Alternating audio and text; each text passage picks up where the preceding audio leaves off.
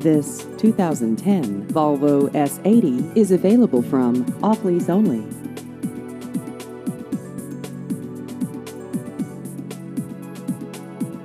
This vehicle has just over 38,000 miles.